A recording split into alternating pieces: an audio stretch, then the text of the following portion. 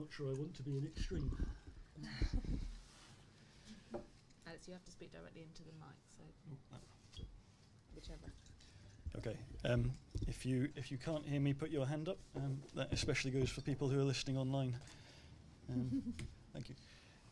Uh, okay, so um, uh, I'm pleased to be talking last because um, this is uh, a much narrower presentation than the other two, and it's great to have the breadth of um, of that um, thinking out there already.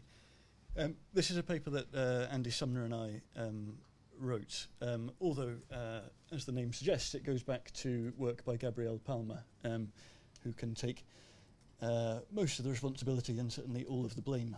Um, and it's a proposal for, um, if not an alternative, at the very least, um, a complementary measure to the Gini, um, which uh, we feel has perhaps um, come to dominate um, particularly economic inequality discussions to an extent that's simply not justified um, by how, how useful uh, the Gini in fact is. Um, as a uh, starting point, I'm just going to um, uh, kind of kick off from where the, the UN consultation on inequalities got to, um, which uh, I summarise as, as these three points. first and foremost, and I think Kevin um, touched on this, inequality is not just a problem for the people who are most affected. This you know, came through very clearly in the consultation. It's not something that can be dealt with simply by targeting people at the wrong end of whatever a particular inequality is. It's a social problem that damages outcomes at the aggregate level. And if we treat it only as something requiring a bit of targeting, we simply won't be uh, addressing the central problem, and won't be addressing the damage um, that it's doing at that broader social level. Um, the uh, consultation off the back of that um, argues for a standalone goal as well as um, targets and indicators um, uh, based on disaggregation across all the other goals um, and makes the point that accountability is critical, that you need that systematic disaggregation um, and an ongoing participative assessment of the progress that's being made if um, these targets and goals are to get traction with government are to be uh, met. So uh, that's kind of where we where we start from with this. Um, what I'll run through, if I can get through this in time, a few questions about the Gini um, that we uh, might want to raise, um, and then I'll just talk through what the Palma is, um, in particular the stability of the middle, which, if that's not clear, uh, will become so in time. Uh, a bit of comparison of the Palma and the Gini, um, some initial findings in terms of the Palma and MDG progress, uh, and then a few quick conclusions. Um, okay, questions of the Gini. Uh, the first one, I think, in terms of where the, the UN consultation process has got to, does it support accountability? Is this, you know, as it is often put forward, the kind of the single measure of economic inequality, which would be useful in helping um, people hold their governments to account for progress on inequality? I've never heard of anybody ever approach their government in any forum um, and ask them to justify or explain a particular movement in the Gini coefficient. I'm willing to believe that it's happened, um, but I wouldn't be surprised if it hadn't done. And I think that's, you know, kind of what got us thinking here. Is this really the measure on which uh, accountability is going to uh, be based, from which it will grow? Um, but there's a couple of other questions there too. Um, is the Gini going to be consistent with the proposed measures we've got around horizontal inequalities? Given the difficulties of constructing a Gini where you have um, binary data, uh, for example, access to um, sanitation, um, are we going to be able to use the Gini in a way that fits with um, the kind of uh, group inequalities that we might want to pull out, whether that's around disabilities or gender or age, uh, ethno-linguistic group, and so on? It may be that we think this doesn't matter and we can have uh, effectively quite different approaches to those sorts of inequalities. Um, my feeling is it would be, at least politically and perhaps technically, preferable if they were more clearly consistent. Um, uh, and finally, you know, does the genie actually do what it's supposed to? Does it adequately capture vertical inequality? Um, uh, there's a quote there from Tony Atkinson, and it's worth saying that we're kind of aware, to a large extent, we are reinventing the wheel with this paper. You know, if you look back to the 60s and 70s particularly, but also to the 30s, you find a lot of this conversation has already happened. Um, it's not that anybody ever thought the Gini was perfect and that we should stop thinking about this stuff. It's just that it goes in waves. Um, and you see uh, in the literature it comes back uh, periodically, these questions about whether the Gini is any good. The kind of central points people raise are two. One, um, and this is Tony Atkinson's point, that the Gini is one of a number of measures that appear to be purely uh, technical and therefore in some sense neutral, when in fact they are um, uh, based on quite a particular normative position about what type of inequality or what bits of inequality or bits of the distribution we should care about.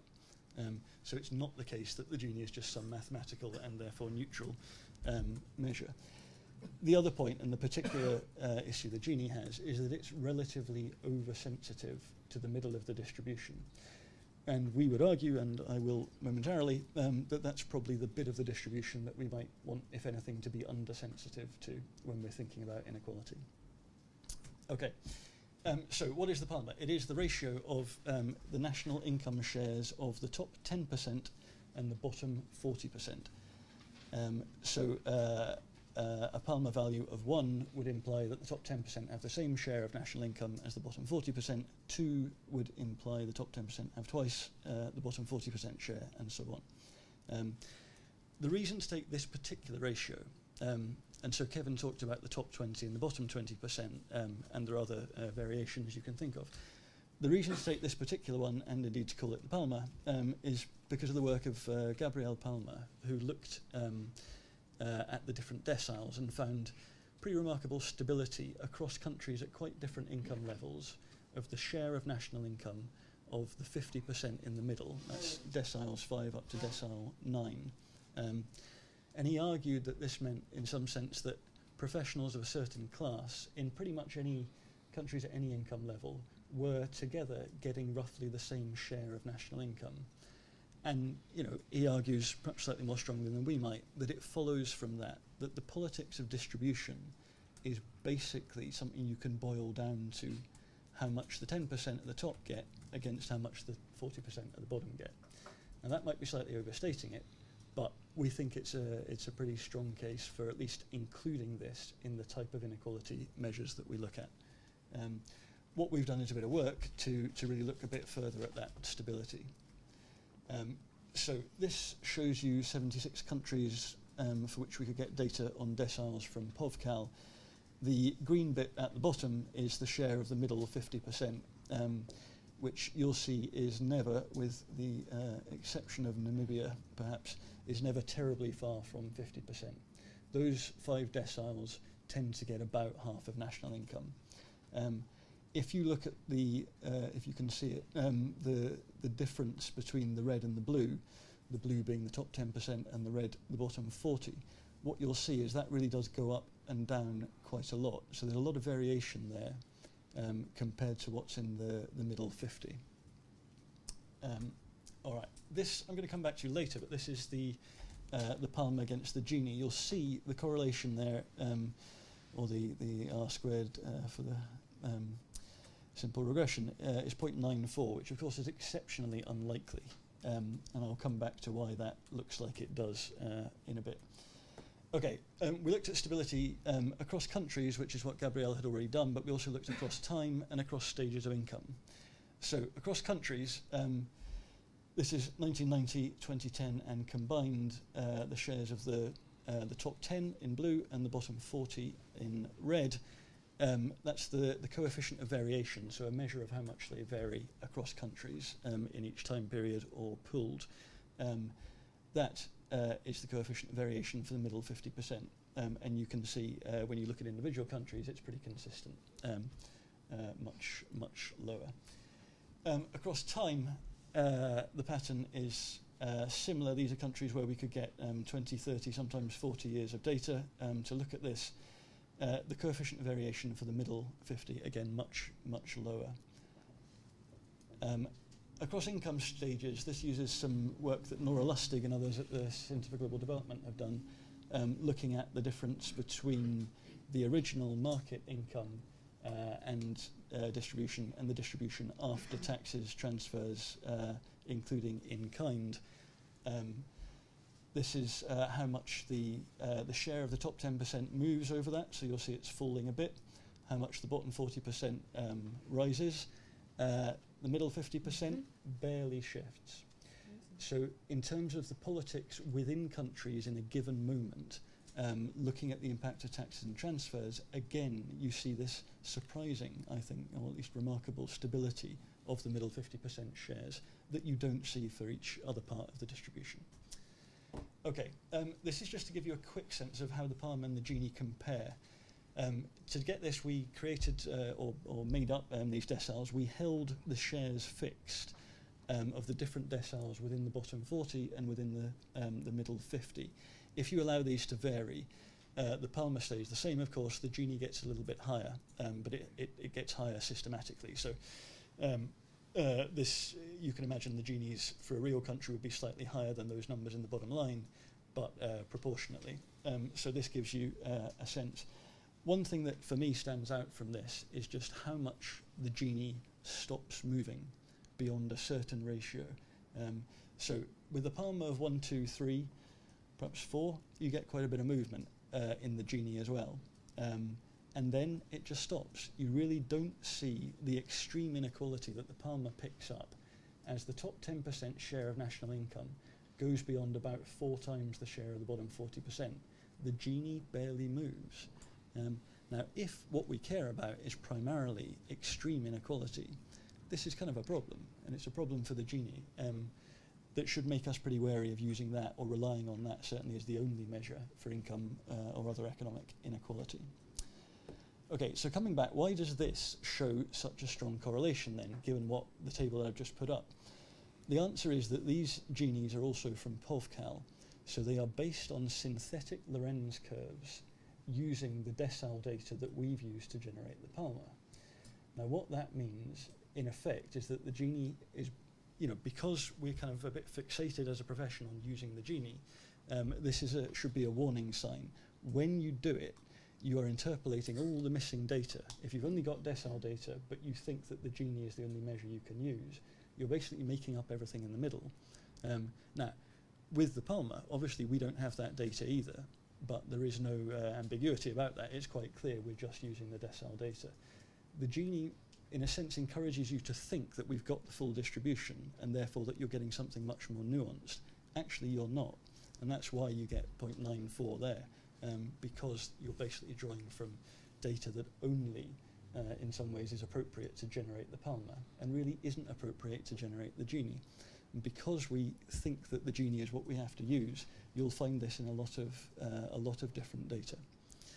Okay, um, so where are we? The Gini is a measure of the entire distribution, but we have some concerns. The Palma is just the top 10 and the bottom 40. Um, the Gini is oversensitive to the middle. The Palma is completely insensitive to the middle because it ignores it. The Gini, I would say, uh, and we feel, is intuitively unclear, except perhaps at 0 and 1, which it never is in a real-world situation. Um, so the meaning of a particular value isn't necessarily uh, very um, transparent to anyone. The Palma does uh, what it says on the tin. Um, you may feel uh, frustrated it's not telling you about the rest of the distribution, but at least it's completely explicit about what it is telling you, and indeed what it's not. Um, the Gini, uh, people keep telling us, meets most of the common axioms for a measure of the full distribution. Um, the Palma doesn't uh, meet about half of them. We will do a bit of work on this. We think there is a problem with the axioms, um, Mm. and this is this is why. If you look at, um, actually, I'll skip Moldova. Let's just go to Mexico. Uh, if you look here, what you'll see is from 1990 to 2010, the share of the bottom 40% in national income in Mexico fell really quite dramatically, um, but not as dramatically as the share of the top 10% went up. Um, meanwhile, the middle 50 got squeezed. Now, uh, as you can imagine, the Palma really shot up. It went up from about 0.8 um, to 2. Point, uh, I can't remember what. It went up by about 250%. Um, and that, to me, is what this picture shows. This shows a really strong increase in inequality. The Gini went down by 5%. Now, maybe this is a one-off, except actually Moldova looks pretty, looks pretty similar. It seems to me if we rely on a single measure of inequality, which thinks that there was less inequality in this country in 2010 than there was in 1990, we are seriously causing ourselves a problem. And any measure, that any indicator or target we tie to this is going to be a problem for the foreseeable future using this framework. Um, so, uh, in summary, just about is the Gini suitable for political accountability? It's not clear to us that it is. We think the Palma, um, while having uh, potential issues, is at least better. Is the Gini consistent with group inequality measures? Again, we don't think so. Uh, the Palma is. You can think of um, the ratio between the top 10 and the top uh, the bottom 40 as one more group inequality, as with a, a gender ratio or a ratio between ethno-linguistic groups. It'll give you consistency in that way. Is the Gini adequate to capture vertical inequality? We just don't think so. Um, we think the Palma is, but there's kind of an open question there. Because it's not capturing the whole distribution, is it the only thing you'd want to rely on? Maybe not. Um, so uh, where that takes us is thinking that there may be room for more than one measure. Uh, very quickly, because I think I'm running horribly out of time. Um, the, the quick bit of work we've done on this, uh, there is more of this to come, but um, this is what we've got out at the minute.